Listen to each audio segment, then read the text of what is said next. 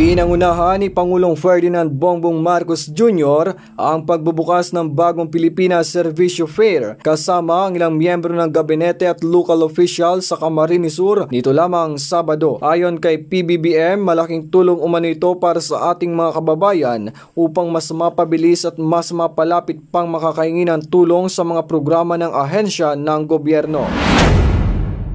Ang alkalde ng uh, lungsod ng Iriga ay si Mayor uh, Wilfredo Rex Oliva.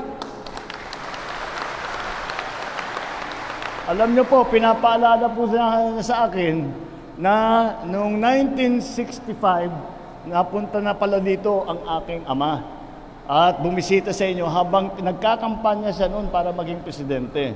At bumalik siya noong 1968 para gawing city ang Iriga. Dati hindi pa city yan. So 1968. Mula noon, wala nang dumating na Pangulo. Kaya uh, Marcos lang ang bumibisita sa inyo na Pangulo. Hindi, malapit, malapit kayo sa puso namin. Eh, nandito naman po kami.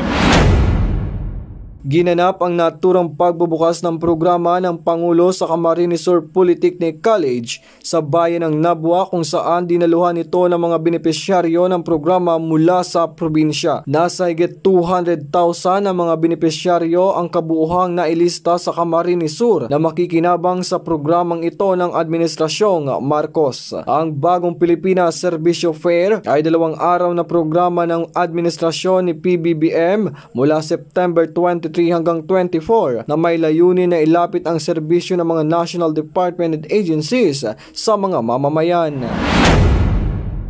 Unang-una, na sapat ang pagkain. Na pangalawa, na ito ay nasa presyo na abot kaya ng mga kababayan natin.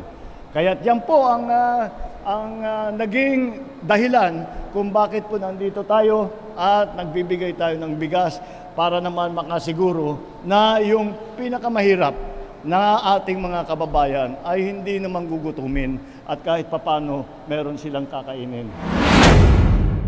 Pagkatapos nito ay kaagad na tumungo sa University of St. Anthony sa Iriga City ang Pangulo pang doon naman ay mamahagi ng bigas na nasa 2,000 indigent families. Nagpasalamat naman si Iriga City Mayor Rex Oliva sa pagbisita ni PBBM na siyang ikalawang Pangulo na pumunta sa lungsod pagkatapos ng kaniyang ama na si dating Pangulong Ferdinand Marcos Sr. higit 50 taon na ang nakakalipas.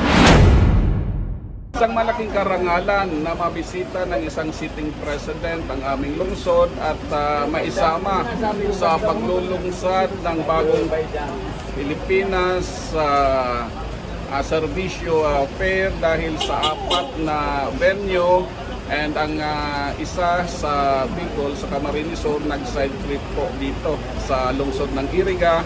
At yun ay isang napakalaking uh, karangalan para sa mga Irigenyo dahil uh, historically ang uh, huling uh, presidente, sitting president na bumisita sa Iriga ay ang kanyang ama, the great uh, statesman uh, President uh, Ferdinand Hidralina Marcos. And nasundan ngayon, yung anak ang bumisita after after uh, 55 years. Kaya we are also celebrating our uh, 55th chapter anniversary last uh, September 3 ang uh, dating Pangulong uh, Ferdinand Marcos ang lumagda ng Republic Act uh, 5261 na ginawang city po ang lungsod ng Iriga. Melchor Bungulto, BH TV News.